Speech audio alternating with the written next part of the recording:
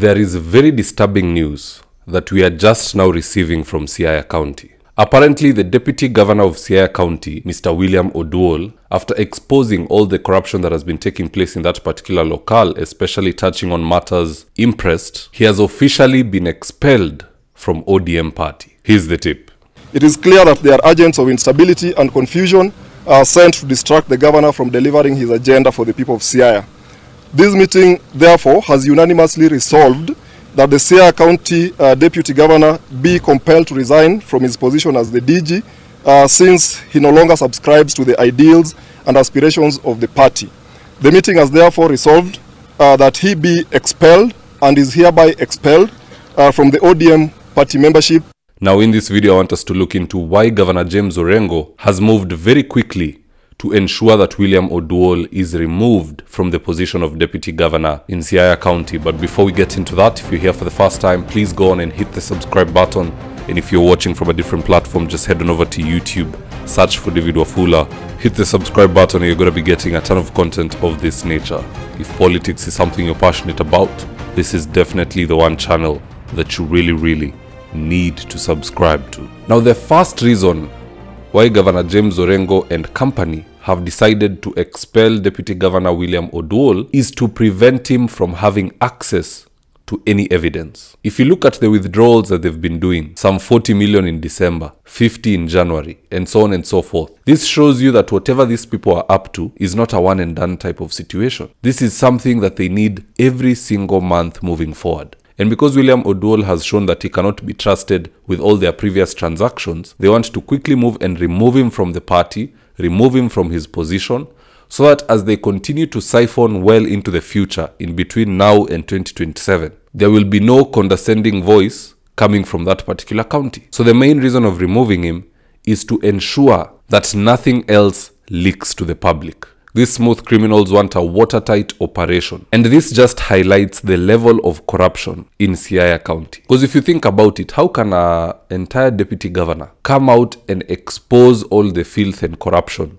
that is taking place in that county? But then you find the MCAs do not care to investigate. The party delegates that are from Siaya County, they don't even want to investigate. In fact, they're the ones who are doing pressers about how they want this deputy governor to resign. His own boss, James Orengo, is also not pleased with him. He wants him to go home. Raila Odinga himself wants him to go home. And that just confirms what I've been saying all along. These funds which are being siphoned from the coffers of Siaya County are being utilized by several people. It's a well-oiled machine with a structure. Perhaps the party leader, the governor, the MCAs, the delegates, because ask yourself, why are these people not interested in investigating any form of corruption? Instead, they want to punish the governor for coming out to say the truth. And by the way, this is going to be the norm in Siaya County for the next five years, up until 2027 on election day. And even after that, because even if Orengo loses, he'll stay in power a little bit longer before he hands over to the next governor. So they still have an opportunity to loot. The same way we saw the Uru Kenyatta administration on its way out, channeling money to the Cayman Islands and things like that. So Siaya County is in serious trouble. This is a county that is being led by tricksters who understand the law in and out. Those are the worst kind of people. You can almost never get them. And one can only wonder, where is the EACC in all of this? I have not seen James Orengo summoned. I have not also seen the deputy governor summoned because he is the one who is bringing the allegations. He should be called to table whatever he has. Then the EACC can look at those documents, see if there's something there, forward it to the DCI to do what he needs to do. I remember at one point, uh, Governor James Orengo said in the Senate that this government will eat its own children. And in his own county, they are eating their own children because that is money meant for the citizens of Siaya County.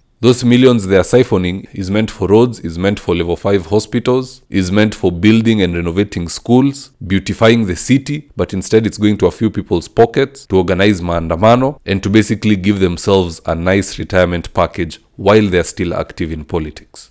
Now here are some interesting comments that Kenyans had to say about this on Twitter. Miguna Miguna said, To James Orengo, your deputy William Oduol has said that you withdrew 100 million Kenya shillings out of public funds in November 2022 and you have not explained what the money was used for. He has stated that your office withdraws 950 million 10 times each month as imprest. Explain. Abuga Makori EGH said the following I don't come from Siaya.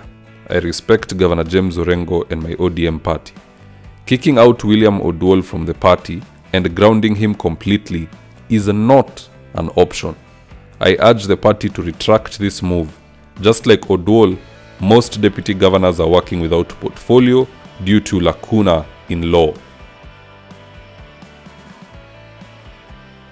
A fellow with an interesting name called Kenya's Tweep said Siaya Deputy Governor William Oduol expelled from ODM for noting huge and abnormal withdrawals from the county coffers.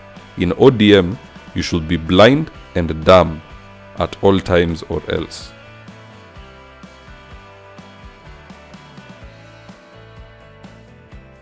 And then if you want to know this thing goes all the way up to the ODM leadership at the very top. Here's what the House Minority Leader Opiyo Wandayi had to say about this saga. And I quote, It is my advice, both in my official capacity and as bona fide voter in Siaya, that Honorable Oduol should tender his resignation without further delay.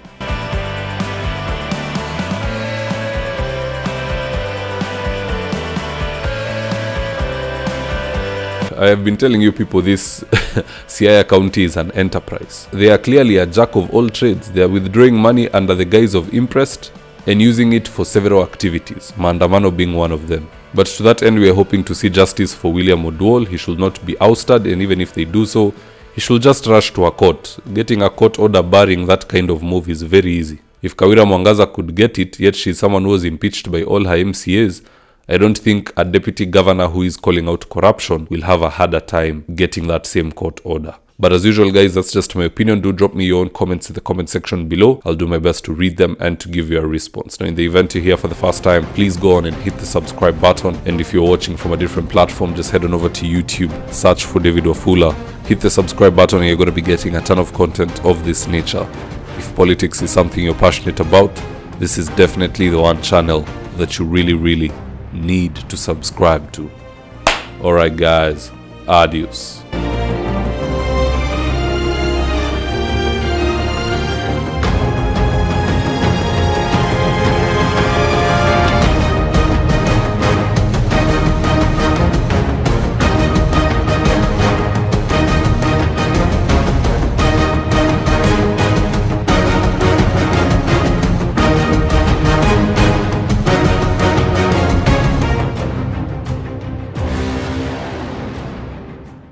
Thank you for choosing David Wafula as your primary news platform. We put countless hours in research, recording, and editing. By showing up each and every day to watch our videos, you encourage us to generate more videos for the viewers. We are on a mission to inform, educate, and build a better tomorrow. To our thousands of followers in a world full of presidents, kings, and queens, you are the real gem. Adios.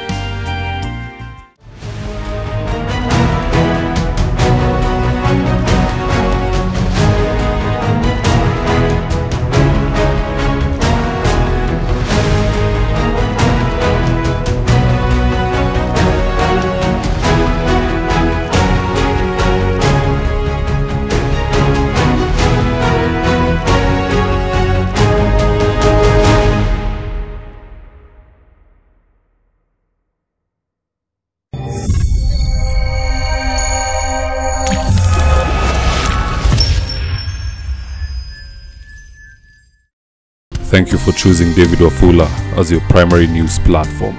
We put countless hours in research, recording, and editing. By showing up each and every day to watch our videos, you encourage us to generate more videos for the viewers. We are on a mission to inform, educate, and build a better tomorrow.